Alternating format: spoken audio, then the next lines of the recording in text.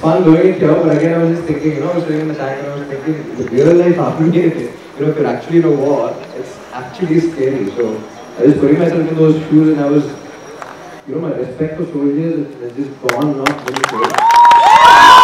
Like to actually bringing up such cool weapons. Okay, uh, the bungee ladder just out and just don't take any, but you actually holding them and firing them is a completely different experience, and uh, there firing it is another.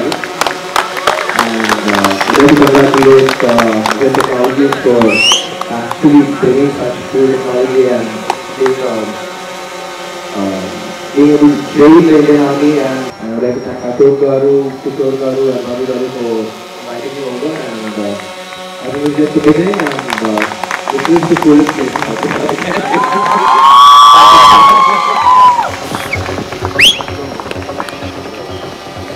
Thank you so much, sir. A small token of memory.